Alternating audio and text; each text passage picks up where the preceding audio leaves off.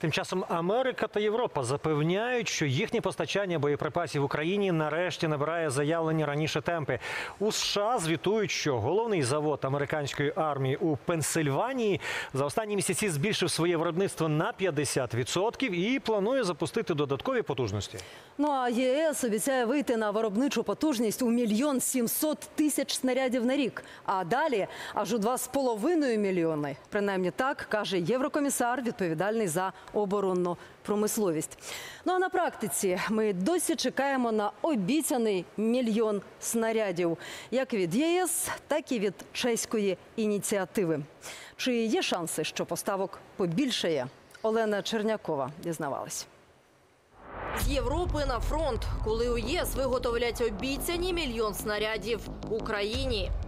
Темпи поставок боєприпасів значно прискорилися.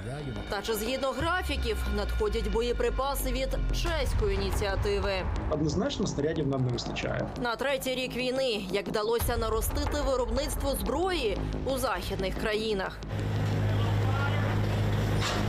Це термічна обробка корпусів снарядів на виробництво армійських боєприпасів у США, штат Пенсільванія. На цьому заводі десятиліттями перековують сталеві бруски на 155-мм гаубичні снаряди. Після модернізації заводу у Скрентоні вдалося майже вдвічі збільшити виробництво снарядів 155 мм. Ми досягли 36 тисяч снарядів на місяць. До цього ми виробляли близько 24 тисяч снарядів на місяць. Звідси металеві корпуси відправлять до Айови, де снаряд начинять вибухівкою. А далі частина з них поїде до України на фронт.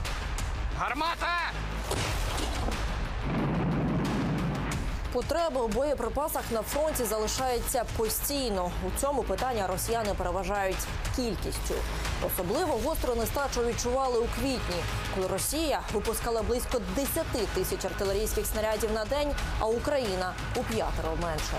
На сьогодні це співвідношення. Ну знову ж таки, да, воно на різних ділянках фронту воно трошки коливається, але приблизно, якщо спробувати усереднити, то це один до трьох. На сьогодні е, Російська Федерація теж е, відчуває до певної міри там певні проблеми із е, постачанням Закривати дефіцит ворогу допомагають їх союзники з північної Кореї.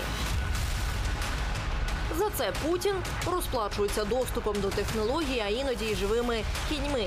Як от нещодавно до Кіма приїхало 19 жеребців і 5 кобил породи орловські рисаки.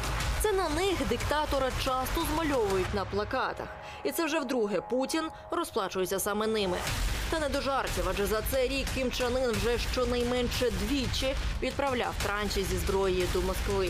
І в останньому могло їхати до 5 мільйонів снарядів. Тобто, це е, ну зовсім інший рівень е, по кількості, так аніж е, ми можемо собі очікувати від наших західних партнерів.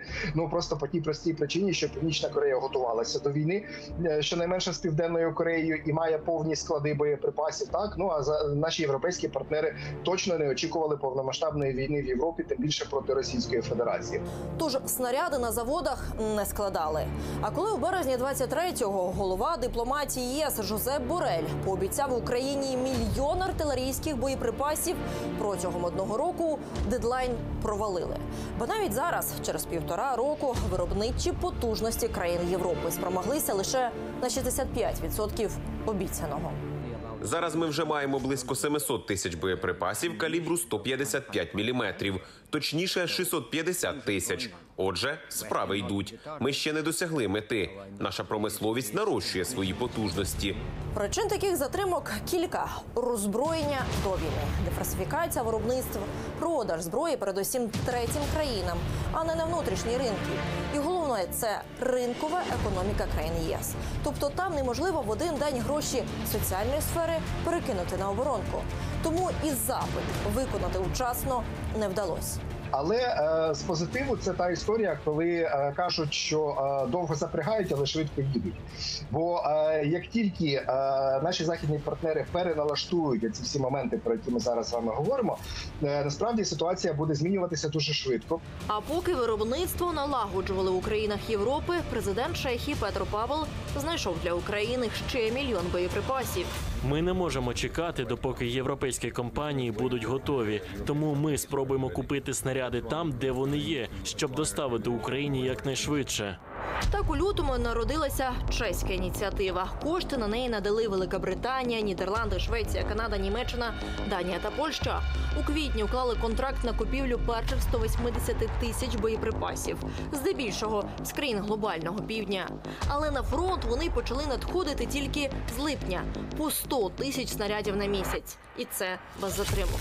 Зауважують у чеському МЗС. Я думаю, що все йде згідно з контрактом. Хоча ще у квітні голова чеського уряду запевняв, що можуть доставити і півтора мільйона на рік, а снаряди вже весною мали надійти на поле бою. У чому ж причина затримок тут? Ці снаряди їх шукають ну будь-де в різних країнах світу. Вони купуються в будь-якому стані. Ці снаряди, снаряди приїжджають в Чехію. Їх е, передивляються, тобто перевіряють їхній стан. Якщо щось не так, їм треба робити сервіс, ну ремонту, грубо кажучи. Про те, що пакети допомоги надходять порціями, грачі затримками, неодноразово заявляв президент України. Сьогодні ті порції вони маленькі. Бо ви бачите, який апетит у цієї війни, і тому дуже хочеться, щоб були збільшені надходження. Від початку вторгнення США відправили в Україну понад 3 мільйони артилерійських снарядів калібру 155-го, свідчать урядові дані.